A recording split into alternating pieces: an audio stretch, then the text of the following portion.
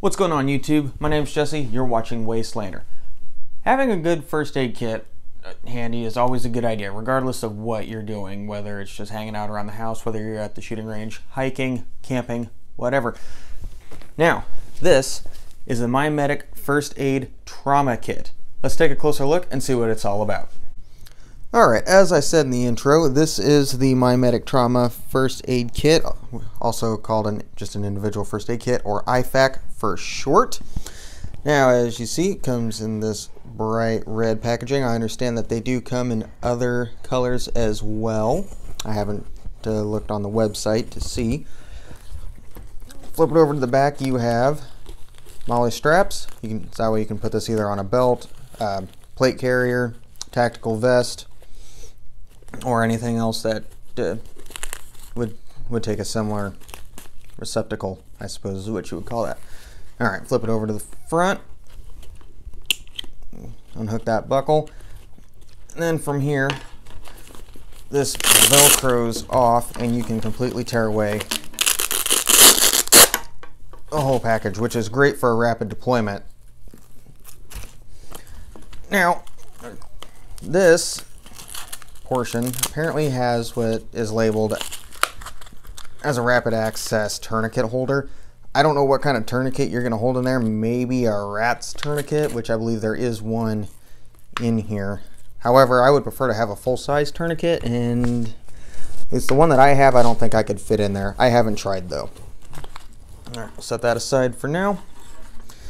Let's look in the main compartment. Again, got Velcro both sides. You've got two very easy to grab pull tabs on either side. Easy to grab does not equal easy to open though, just depending on what you got in it, I suppose. Or you can just grab on the top loop and just tear it open. And that reveals the contents. Oops.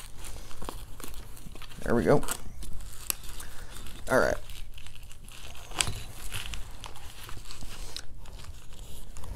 Some sort of an advertisement from MyMedic. Set that to the side. All right, we have here standard Sharpie. We have NAR responder compressed gauze. Okay. And then behind the gauze in this pouch, we have trauma shears for cutting, I would presume, gauze or other bandages.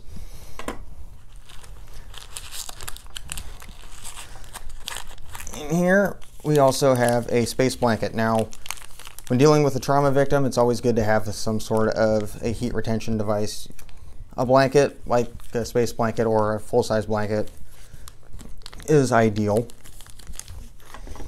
And that's it for that container. All right, to the center, we have an emergency pressure bandage with easy to follow instructions printed on the back. Behind that, we have the Rapid Tourniquet, also known as a rat tourniquet. I've heard mixed reviews about this product. I've personally never used one. I need to take a training class to find out what is actually recommended. But I would presume that this would fit in that, excuse, oops, that aforementioned pouch. Set that to the side. All right, that pouch is empty. Up here, we have our nitrile gloves. You don't want to get somebody else's bodily fluids on you. It's just standard safety. And then all the way to the left, we have Super Wash. This is Wound Wash and Eye Wash Solution. Okay wash out those wounds. Then behind it we have a CPR face, nope, just a CPR shield. Now, I'm not entirely sure how these work. I need to take a CPR class. I just need to take some medical classes. To be honest, that's something that I'm woefully behind on, is my first aid training. All right.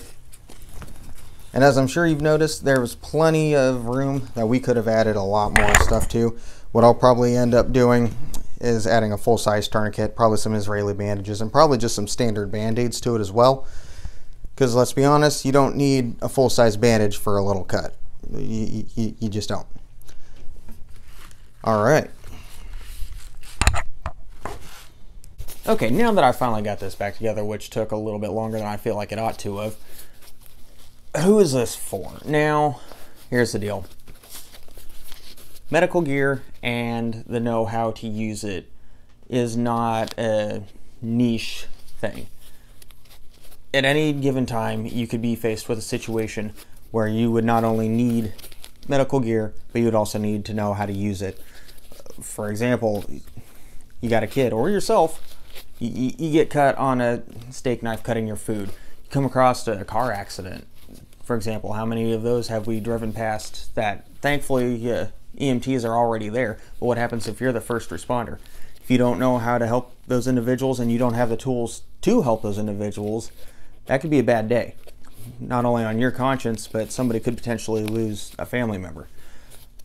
So, having, again, having medical gear is not a niche thing. Everybody should have medical gear. Everybody should know how to use it. As I stated before, I don't know as much as I ought to on medical, but I do intend to fix that in the future. I understand that the Red Cross has uh, free courses. At least I believe they're free. I'd have to look into that again and uh, go from there. So honestly, get yourself some medical gear get yourself some medical training and make sure that you have it on you. Just because you've got a first aid kit at home in your medicine cabinet, it's not doing you any good if you're out on the road and you come across a, a tragedy that you could uh, do something about if you had the right gear. All right. That's going to cover it for today. Please make sure that you like, share, and subscribe, and I will see you later. Stay safe out there.